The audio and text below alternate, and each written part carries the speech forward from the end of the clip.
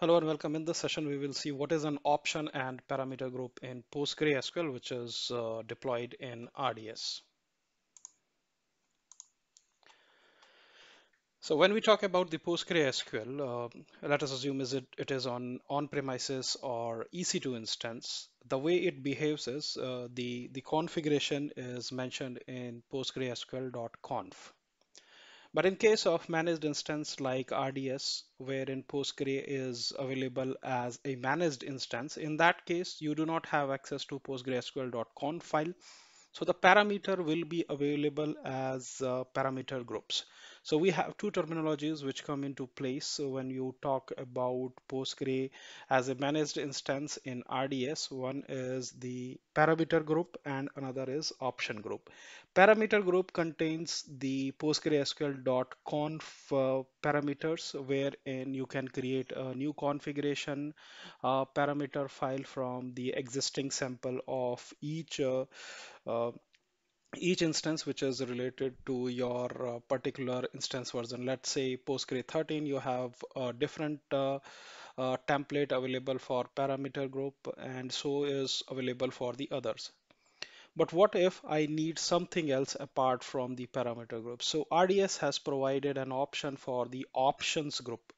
So any additional feature which you want and if it is offered by the RDS as a managed instance for PostgreSQL, then you need to use the options group and uh, this is this is available for all the managed uh, instances.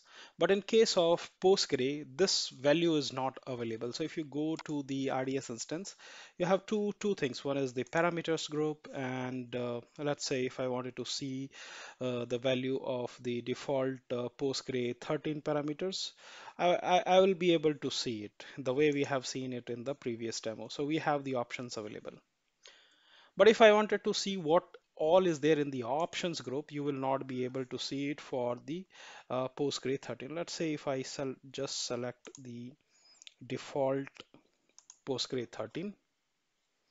So you can see it is just the ARN name is mentioned, the option group name is there. Uh, the uh, description is there, but there is there is nothing inside that, right?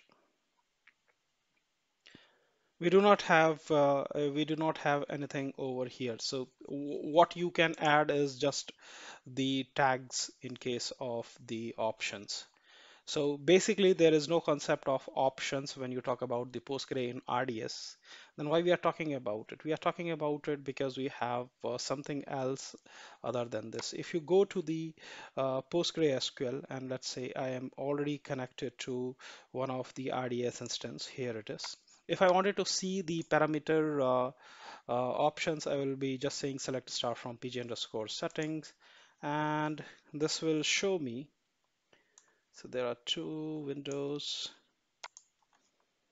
Let me see where it has gone. Okay, these are the uh, the values which are available in your postgresql.conf or in in case of uh, postgre rds we say this is the parameter group. The another is option groups. So option group is not available in case of postgre at rds so uh, any additional feature or the new feature in case of postgre we call is as extension so if you wanted to see what all extensions are available in your Postgres, so you will simply say uh, pg underscore available uh, underscore extension. These are the extensions which are which are already available in case of Postgre, which is deployed in RDS. If it is your on-premises or EC2 instance, you have to deploy these additional uh, extensions yourself. But in case of RDS, they are available. So if I say options group in Postgre at RDS. There is nothing like that. It is just blank. It is a blank template only. Since it is being offered for all the RDS instances, that's why a blank instance is given, but uh, a blank uh, options group is given. But if you wanted to see uh, more about the extra features which you can uh, avail in case of Postgres, so they are available as extensions.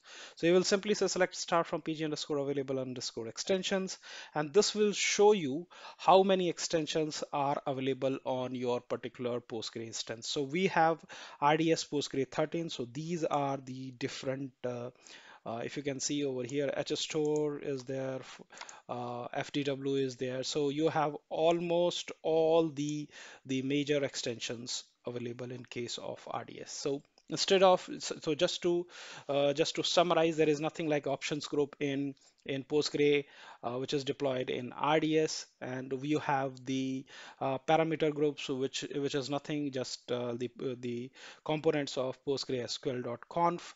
And in case of uh, Postgre at RDS, the options they they are blank, but they are available as extension in Postgre, and uh, RDS is already uh, deployed with those uh, famous extensions, and you just have to say pg underscore available underscore extensions and that will show you what all uh, extensions are already available and uh, you can go ahead and use them.